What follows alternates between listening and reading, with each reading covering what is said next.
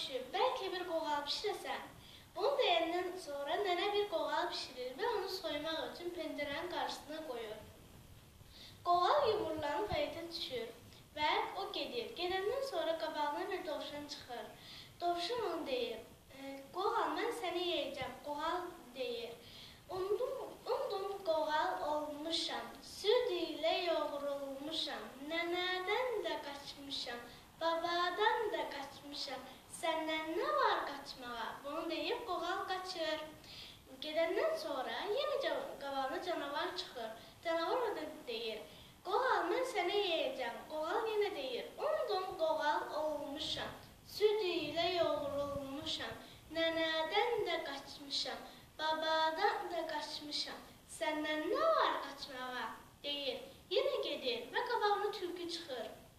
Tülkü deyir: "Ay dovşan, ay qoğal, mən səni yeyəcəm." Qoğal yenə deyir: "Undum qoğal olmuşam. Süd ilə yoğrulmuşam.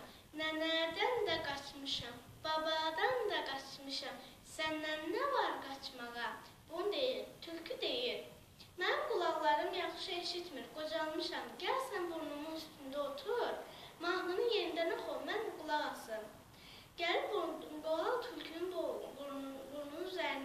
Oturur və deyir: "Undum qoğal olmuşam." O sözünü bitirməmişdi ki, ə, tülkü onu yedi. Qurtardı. Göydən üç alma düşdü. Biri mənim, biri sizin, bir